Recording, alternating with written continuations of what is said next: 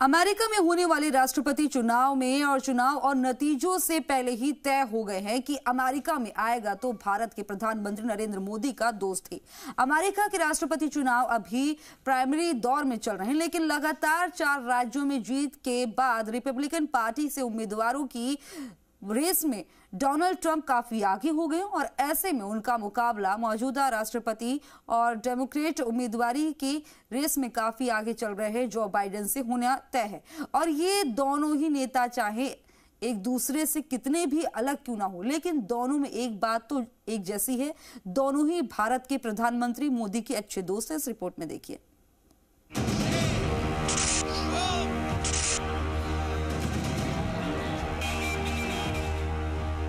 I promise you, I will not let Donald Trump and the MAGA Republicans.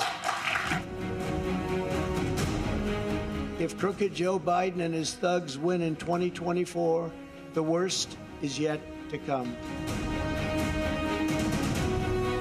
To Prime Minister, uh, we're going to continue to build on our strong partnership. He's a friend of mine. He's a great gentleman, and I look forward to going to India. America में दुश्मन number एक राष्ट्रपति Joe Biden और पूर्व राष्ट्रपति Donald Trump, Bharat के प्रधानमंत्री नरेंद्र मोदी के दोस्त नंबर वन है।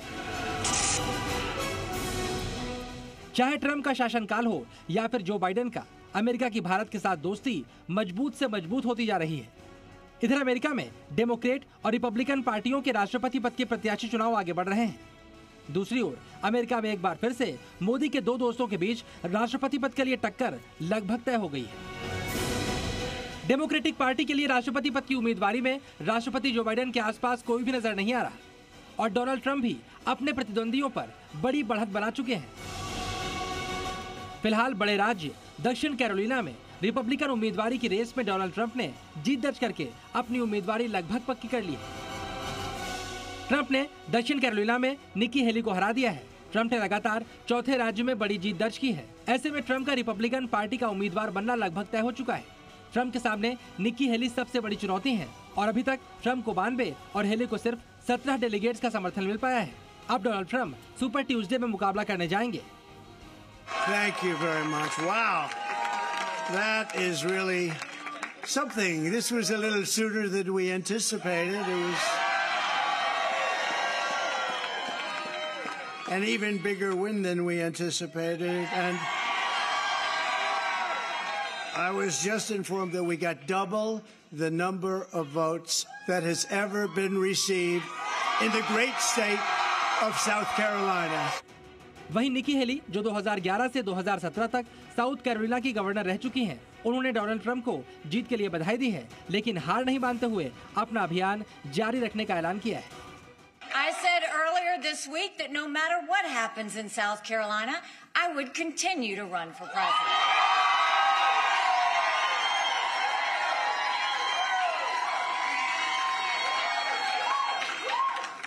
I'm a woman of my word.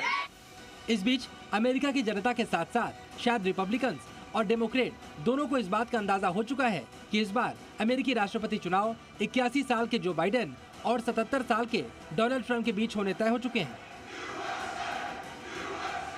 यही वजह है जो बाइडेन और डोनाल्ड ट्रंप भी अपने भाषणों में एक दूसरे को निशाना बना रहे हैं। किसी दूसरे प्रत्याशी की दोनों नेता बात ही नहीं कर रहे। बाइडेन कैपिटल हिल की हिंसा को आज तक अमेरिकी लोगों को याद दिलाते रहते हैं Donald Trump's campaign is about him, not America, not you. Donald Trump's campaign is obsessed with the past, not the future. He's willing to sacrifice our democracy, put himself in power.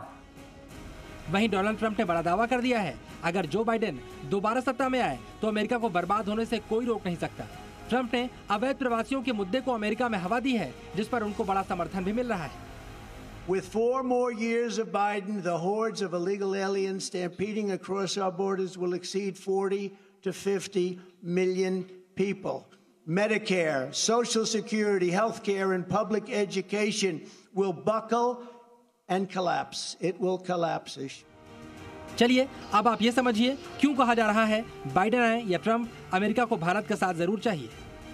दरअसल, भारत दुनिया की पांचवी बड़ी अर्थव्यवस्था होने के साथ साथ बड़ा बाज़ार भी है और 2023 में भारत और अमेरिका के बीच 200 बिलियन डॉलर से ज़्यादा का कारोबार हुआ है। वहीं भारत, चीन के खिलाफ अमेरिका का बड़ा सहयोगी देश है। भारत और अमेरिका बड़े रणनीतिक साझेदार भी हैं और क्वाड में भी जापान और ऑस्ट्रेलिया के साथ भारत और अमेरिका एक दूसरे के सहयोगी हैं। बाइडन आते हैं, तब भी भारत के अमेरिका से रिश्ते अच्छे हैं, अच्छे चलेंगे।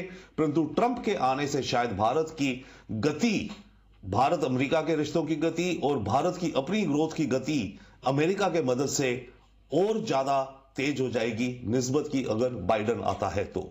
तो फ़िलहाल सुपर पावर अमेरिका के चुनावों पर दुनिया भर की निगाहें हैं। ये चुनाव धीरे धीरे आगे बढ़ रहे हैं। लेकिन भारत के लिए अमेरिका की नई सरकार को लेकर चिंता इसलिए भी नहीं है क्योंकि अमेरिका में चुनाव कोई भी जीते, आएगा तो मोदी का दोस्त। ही ब्यूरो रिपोर्ट, जी मीडिया।